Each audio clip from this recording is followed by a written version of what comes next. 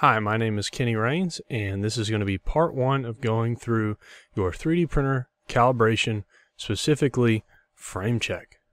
So what we're going to do is we're going to check to make sure that we don't have any loose nuts or bolts, that we've got proper tension on our V-rollers by tightening our eccentric nuts, making sure that our Z-axis is lubricated.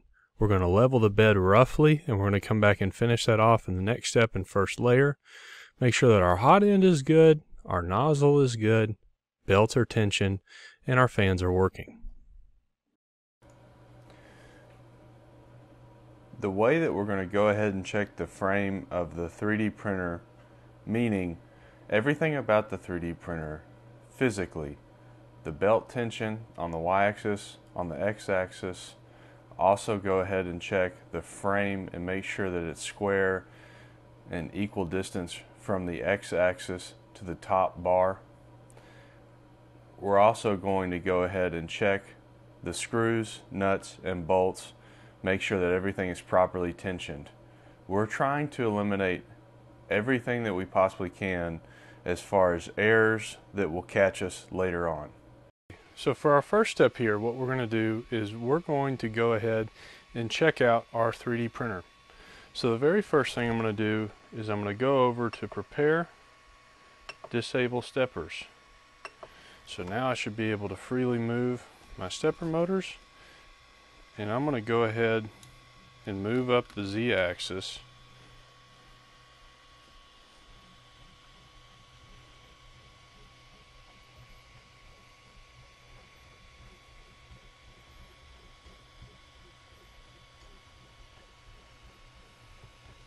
and I want to get it pretty close to this top rail here.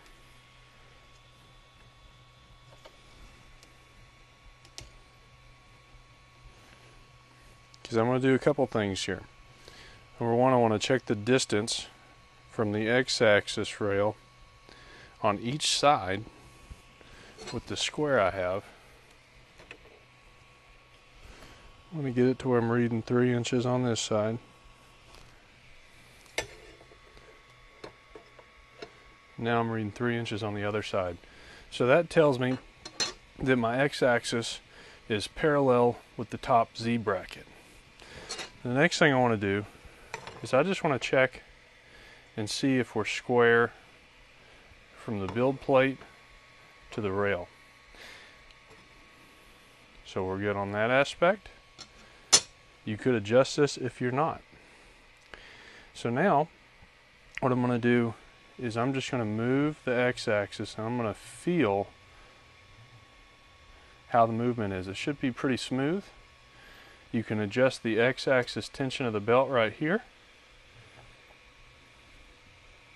And then also, if you need to adjust your wheels, you've got the one eccentric nut down here on the bottom and you can loosen or tighten it.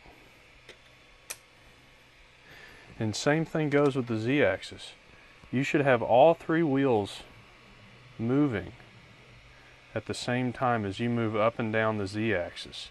If they're not, you need to adjust your eccentric nuts that are located on the inside until you've got contact. Then we'll go to our y-axis and we're going to feel that it's moving pretty smooth. The belt tension feels pretty good. It should be pretty tight makes a little strumming noise. One thing that's given me trouble are these Z-axis screws. And so what I'm going to do is I'm just going to go ahead and tighten them up a little bit more. This gave me a lot of issues and some failed prints at first. So I'm just going to make sure that they're really tight here. And you also want to just check visually and make sure that those T-nuts have actually turned and are sitting in the V-rail. Okay, so everything in that aspect looks pretty good. So the next thing we're going to move to is the actual bed leveling. One other thing, I've already put lubricant on mine, but your Z-axis threaded rod, you'll make sure it's lubricated as well. So before I get into the bed leveling routine, I'm going to do a couple things first. I'm going to go into Control, temperature. And I'm going to set my nozzle temperature to about 160. I want to get it hot so I can deal with my thermal expansion, but I don't want it so hot that that filament starts coming out of the nozzle. I'm going to also set my temperature up to the print temp that I'm going to use at 60 degrees. Okay.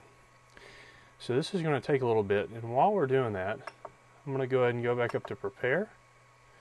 I'm going to hit auto home. So now we're homing our X, Y, and Z axis. So the Z axis is creeping in. And once again, I want to explain the importance of why we preheat the nozzle as well as the extruder. So if you do that at room temperature, you're making sure that the plane of the nozzle is parallel to the build plate at room temperature, but we don't print at room temperature. We print at roughly 200 degrees C for PLA and 60 degree bed temp. So you want to make sure that the bed is level at that temperature. So now that we are homed in the X, Y, and Z axis, we're preheated at 160 degrees C on the nozzle, 60 degrees C on the bed, and we've got our little piece of paper here. What I want to do before I start leveling is I want to go into prepare disable steppers. This allows me to move my x-axis y-axis. We don't want to move the z because we're homed right now. So I'm going to go to each corner of the build plate and right now it's so close that I can just barely wiggle my piece of paper. And that's actually really good. It needs to be pretty tough to get in there. That's where we're going to start out. So now we're going to scoot over and be careful not to scrape. Sometimes it is good to go in here beforehand and go ahead and tighten each one. If you screw to the right, it's going to bring the build plate down. If you go left, it's going to push it up towards the nozzle. So right now, oh yeah, that's pretty good.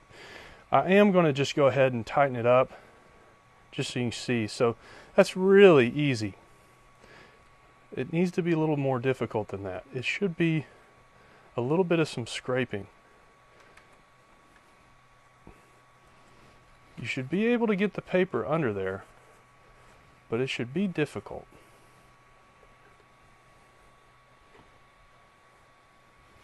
Okay, so now we're going to move our y-axis.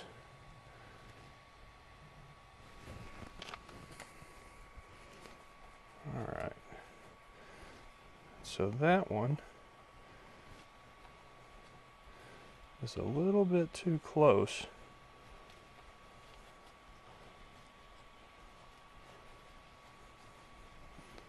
Yeah, that's pretty good right there.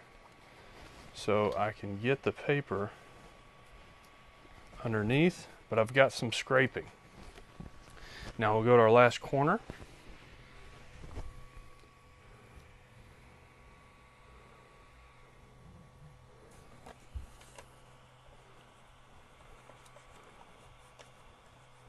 Yeah, that's some nice scraping right there.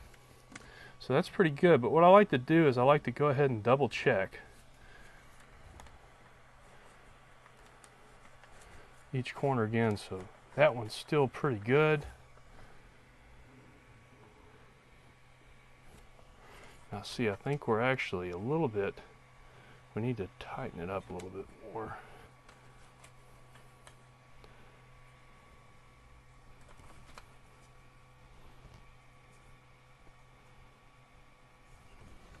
Okay. So we're going to check these four corners again, and then we're going to come to the middle.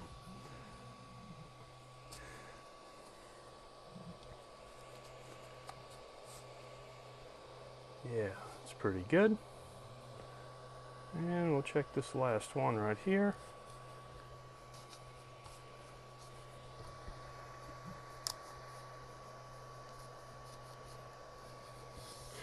Now let's go ahead and move it to the middle.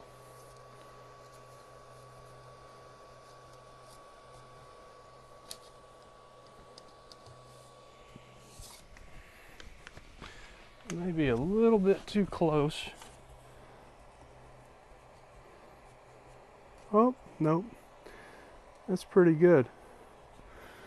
So we may be a little bit close on this, but whenever we get to our first layer part of the process, that's when we're going to find out for sure where we're at. But this is pretty good for this point of the process.